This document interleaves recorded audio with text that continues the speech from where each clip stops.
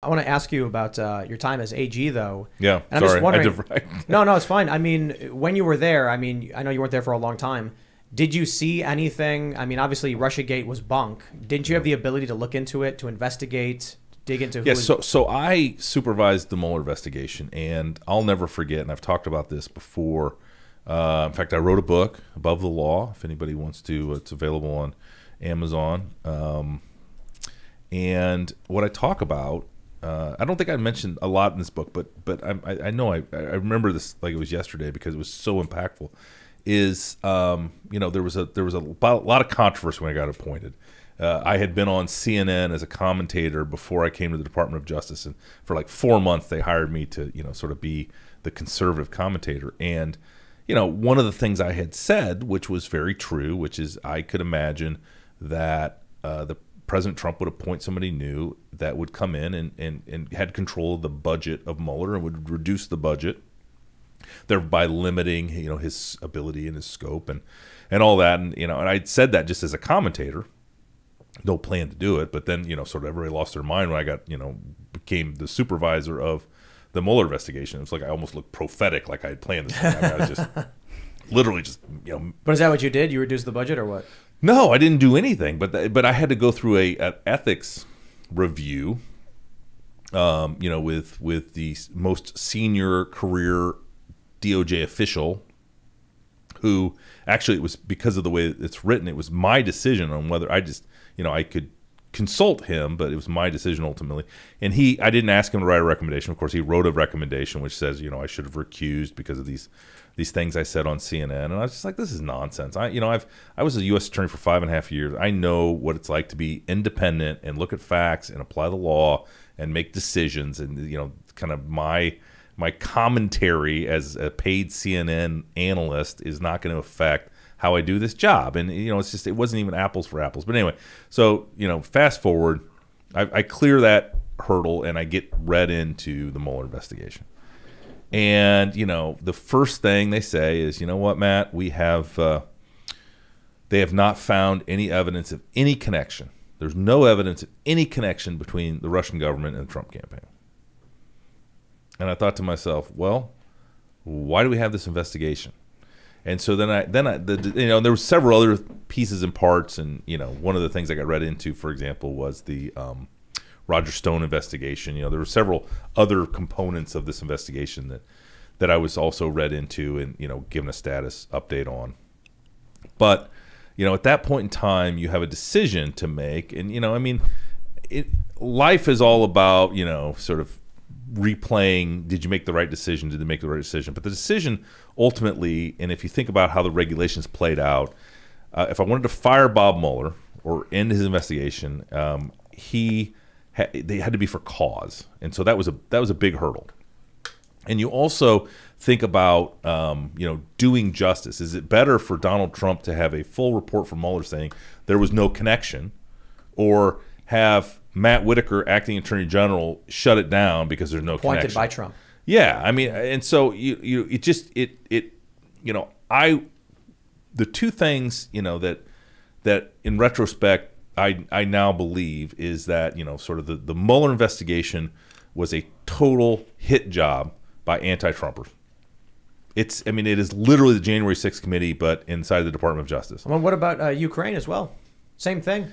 Yeah, that was just the the train got rolling before they realized what the evidence was, and then they kind of were, you know, I mean, this Nancy But- but- Pelosi hates Donald Trump, and she had the power to get enough votes to file articles of impeachment and prove him out of the House. Full stop. I mean, that that's why it happened, and I'm sure if Nancy was here and was honest, um, and not dealing with her husband's, you know, legal issues, um, I think she would say, "I cannot believe."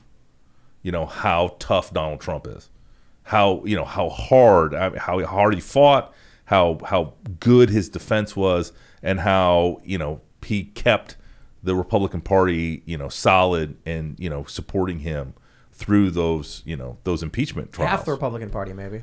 yeah, I don't. I mean, you lost. I think they feigned support. I think a lot of these guys they feigned support. I mean, All right, name names. of like who feigned support? Lindsey Graham. He comes out like he, he, comes out on TV that's talking about how he's all in favor of Trump, but come on. You see him go, you know, walk, walking down on the floor, and he gives Kamala Harris a fist bump. He's not, he's not really behind the president. You look at, you, you have uh, in 2016 and 2018, the Republicans, the Republic, Republican Party entertained and allowed the, the RussiaGate nonsense to persist.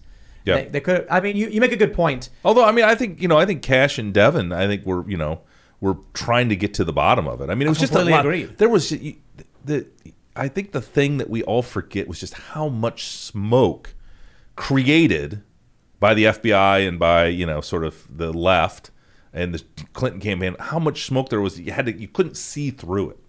Because you just every time you you like run into something, you'd be like, "Oh, that's." I mean, maybe you know, I thought this was you just it was it was a shiny object in smoke, and you just it was very hard to get to the bottom. And, and you know there were a lot of people that didn't want to get to the bottom of it because they wanted that smoke there. They wanted to hamstring Donald Trump. And the question you know that I come back to Tim, and I'm sorry, I know this is your show, so I don't want to dominate the time, but That's I what you're here for, man. what what is so dangerous about Donald Trump? Why do people want to take him down so enthusiastically? Well, I got some ideas. It could be that uh, back in 2009, it was, or I should say in 2012, it was reported that in 2009, the CIA had reported they wanted to overthrow the uh, uh, Bashar al-Assad, the Assad family in Syria, because we were trying to build an oil pipeline, the Qatar Turkey pipeline, up into Europe to offset the Russian Gazprom monopoly. And uh, Syria explicitly told the United States, we're going to support our ally Russia, not allow you to build this. In fact, we're going to get Iran to tap the same gas field, send it up through Iraq, so we could basically steal the oil, and then we can control oil prices into Europe, screwing with your allies.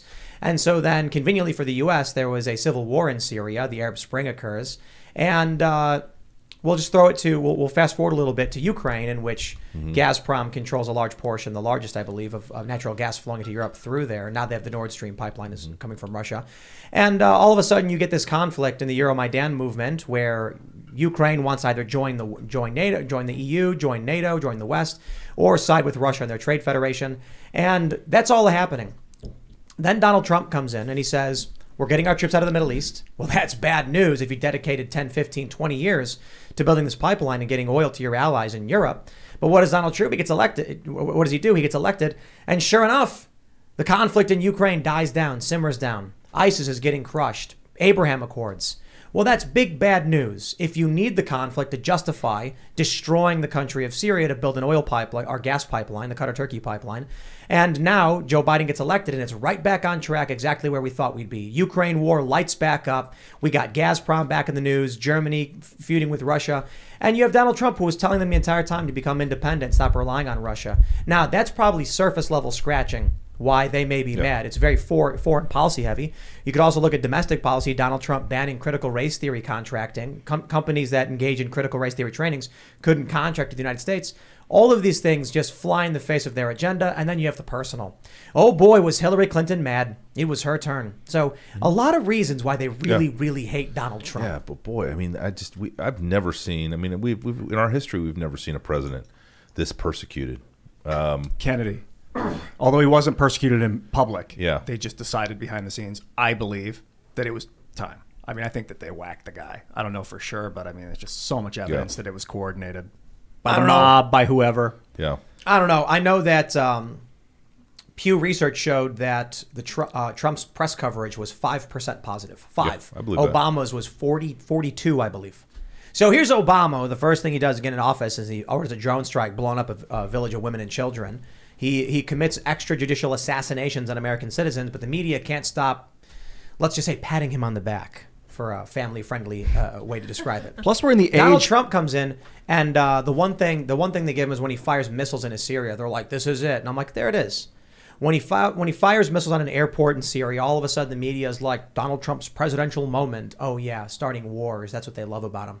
But uh, when the economy is booming, what do they do? They lie, cheat, and they smear every single thing the guy does. It never ends. Yeah, we never were in the age of like social media manipulation like we are now. So if if Trump had exist been president 30 years ago or someone like it, maybe there would have been newspaper articles, but it would have been all a lot of it behind the scenes because that's all they had. Now it's social media, it's slander on the news and all that crap. So we're seeing it for the first time. yeah, yeah. I- I'm just uh, the fact that he fights through it all and is you know not only as popular as he is, well, that's why. but just like he's he is never tired. I mean, it's like he eats it like a candy bar. Uh, it, it's really it's, it's extraordinary. Um, just never seen a force like this in my life. And you know, I mean, I, I'm around him a lot and get to spend a lot of time with him, and and I'm I, I sometimes am surprised, and just that you know, kid from Ankeny, Iowa, uh, gets these opportunities. But I also know that he's just like an, he's a no BS kind of guy. Yep. He doesn't worry, you know, doesn't worry that you didn't go to Yale or you didn't go to Harvard or you know, sort of doesn't. Another reason they don't like him. Can you are you effective? Can you get the job done? Do you speak? clearly and you know make commitments and live up to those commitments it's those you know it's just the basic you know kind of what you'd expect out of a guy that's uh, you know sort of built buildings I look at everything that's that's happened over the past several years and what's happening now with the January 6th committee, and there is a malignancy in this country that is gutting it from the inside. Donald Trump, what did, what did he do? He brought auto industry back to Michigan, uh, an investment of I think around three billion dollars. He he cuts out the TPP.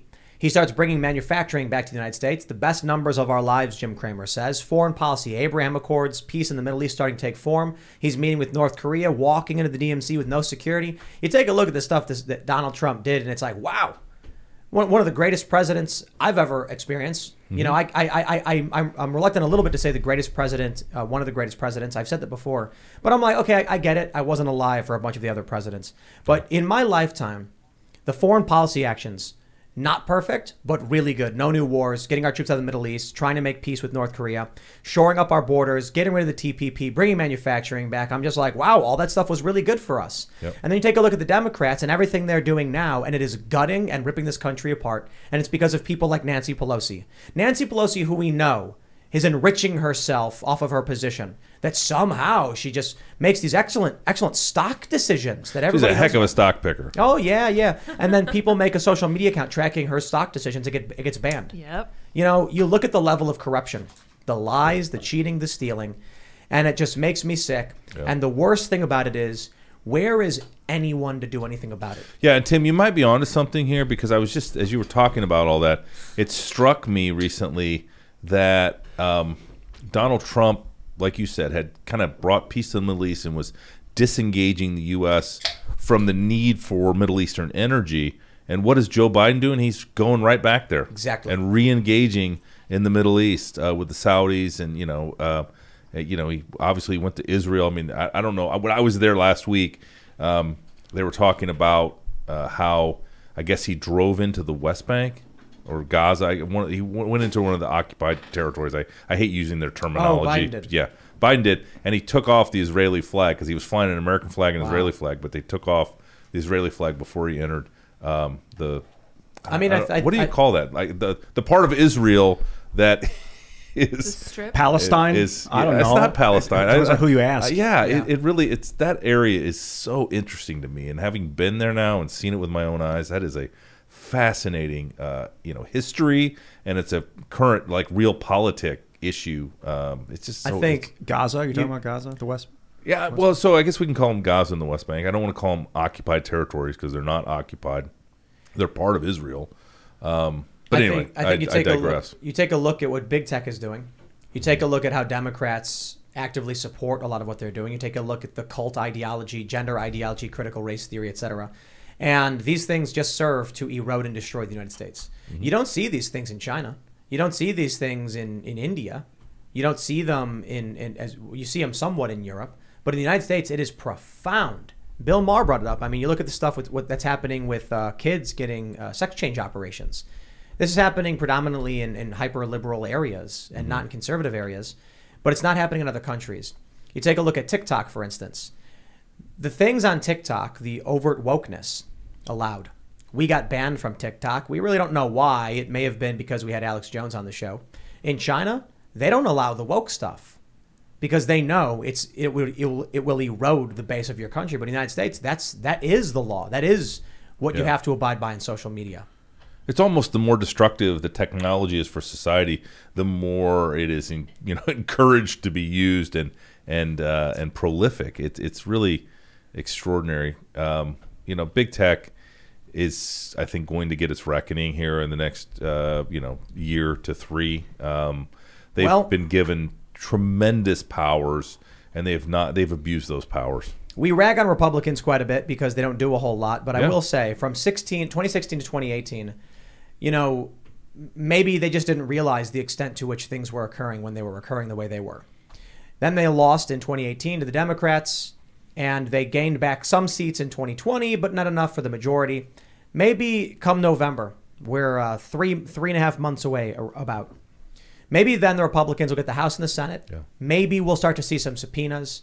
I want to see this. I want to see Joe Biden impeached for the Ukraine scandal. Joe Biden engaged in an overt a quid pro quo. A, a, a, it's, it's remarkable, remarkable that, Don, that, that, that Donald Trump could discover this, seemingly bumbling upon it.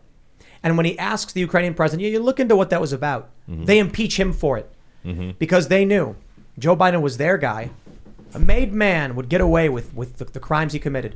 Going to Ukraine and saying, I am going to deny a billion dollar loan guarantee illegally even though Congress approved it, because I can do whatever I want unless you fire the prosecutor. By the way, the prosecutor happened to, to happened to be investigating a company called Burisma where his son worked, but that's besides the point, according to the media. His son was on the board of Burisma at the time. Yeah, eighty-three thousand dollars a month. And Victor Shokin was investigating that, and Joe Biden uh, went to the president and said, "Fire him." Or you're not getting the billion dollars. And the president said, You can't do that. And Joe Biden said, Call the president, see what he says. Well, SOB, guy gets fired. That guy needs to be impeached over that. We need a congressional investigation. We need a select committee. We need an investigation on the 529 insurrection when they threw a fight, when they set fire to the St. John's Church and the guard post, forced the president into a, into a bunker. I expect to see subpoenas of all of the Biden administration officials. I expect to see subpoenas, contempt of Congress, everything they can do if they win. And you know what? That's what worries me because well, it sounds what? too Hold good on. to be I true. Mean, but but do you think Merrick Garland and the Department of Justice is going to receive those referrals?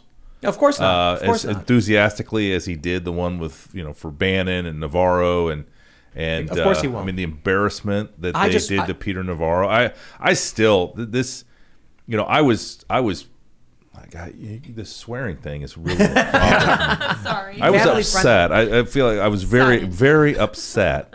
Um, that the way that the the way Roger Stone was taken down, I thought oh, that yeah. was ridiculous. CNN in fact, getting tipped in off. In fact, you know, I was the acting attorney general at the time, and I let you know Chris Wray know, uh, you know, uh, that that that was not acceptable. That that was that was clearly intentional middle finger. CNN was topped, tipped off, but you don't need to go. I mean, I understand officer safety, but we're talking. Roger Stone is but not. you have done anything about yeah, it? Uh, well, what? I mean, you know, you can you can get the explanation. Yeah. Um, but you know, sort of op- operationally, I don't think we want attorney generals, attorneys general involved in how to arrest someone they're going to arrest or how you're going to execute a search warrant. I mean, that's you know, that's you leave that to the you people see, that are doing the, the, job. But and, this is the issue. But you, the Democrats get in and think the exact opposite of the way you think. They yeah, say light them up, burn them down. Right. I know, and and and you see that example in Navarro being pulled off a plane. Uh, if you shackled. you know if you believe mm. Peter, yeah, he was you know his feet were his legs were shackled. I mean, this is nonsense. This is absolute nonsense. I mean, he should have been given a notice to appear. Right. Uh, it's a misdemeanor. Remember, contempt of Congress is a misdemeanor. Mm-hmm. So Bannon was convicted of a misdemeanor. Right. Navarro was charged with a misdemeanor. We've never. I mean, that's the same. I, and I, and again, I, I'm just telling you, that's the same as like if you get a ticket uh, in a, a, a national park. I mean, it's like it's the same docket that you see in that case. It's what what is it? Two month minimum uh, in sentencing guidelines, up to two years. It's up to one year. Misdemeanors are year. under a year. Yeah. Is that? Oh, right, right, right. It's two because he's charged yeah. with two counts, right. I believe. Yeah, yeah. Yeah. So that is like on par with like um, what driving on a suspended license. Yeah, I mean it's federal, so it's a little different. Uh, you can't really the the state, you know, state each state has a yeah. different thing. I mean, I know, you know, my experience in Iowa, having you know defended. I mean, you would do you wouldn't you wouldn't go to court on a misdemeanor. You wouldn't have a trial on a misdemeanor typically. I mean, that's that's why the case that's why the case was so fast Right. And Bannon, I mean, it's like you know, it's just a there were two witnesses, and it's just he it's a person. Yeah, I mean, he didn't call any, and the jury was out for three hours, and but of course waited for their free lunch. Um, how, how long do you think they're going to sentence sentence did they, uh, did they sentence him yet? I, I, I thirty days or less. I'm guessing. Uh, he yeah. might he might just get the you know.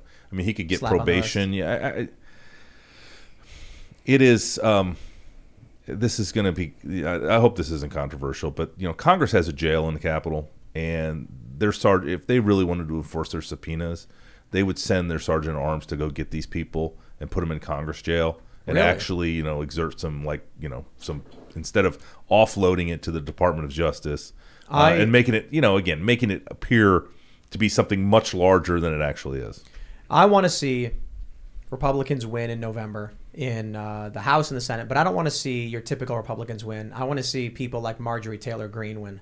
You know, she's she's considered controversial. The media smears her left and right. She's got certainly views that I don't agree with. I don't care. She's fearless and she's she's fighting against this stuff. She's going to Congress and forcing these people to do their jobs, much like Trump was. That's why people like Trump. That's why why people like Marjorie. That's why people like Thomas Massie or Rand Paul. But they also like people that fight. Mm. That's right, and right. they, they want people that stand up to the just the BS of Washington D.C. that don't like want to get invited to the you know white wine cocktail parties where everybody stands around with a drink and chortles about conservatives and you know they want people that sort of actually are unwilling to play the game that are going to go to Washington D.C. and they're going to That's fight for what they you know yeah they that they fight for what they got elected on and I mean you see you have to be in tremendous uh, self confidence to survive that. I'll, t- I'll tell you, uh, I'll give you a good example of, I, I think, the, the issue, the left and the right, uh, of the left and the right. There was uh, uh, a guy who worked at Taco Bell, and he had a mask on that said Black Lives Matter. And his bosses went to him and said, You can't wear that political stuff while you're working here. And he says, I'm not taking it off. And they said, If you don't take that mask off, we're going to tell you to leave. You can't work while you have it on. He says, Fine. He goes outside, he films himself, and says, They wouldn't let me wear this. The activists attacked the Taco Bell until Taco Bell issued a statement saying you can wear Black Lives Matter stuff. Conservatives don't do anything like that. They say, well, but if I do that, I'll lose my job. It's like, you're right.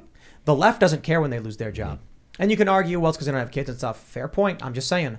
When the left is willing to go to Roger Stone's house at 5 in the morning with CNN being tipped off, and they bring him out this way, and the right is unwilling to do anything about it or push back in an equal Yeah. or, or opposing way, then you will get this indefinitely. It, it you know, it, it's remarkable to me that what happened to Roger Stone happened while you were the acting AG.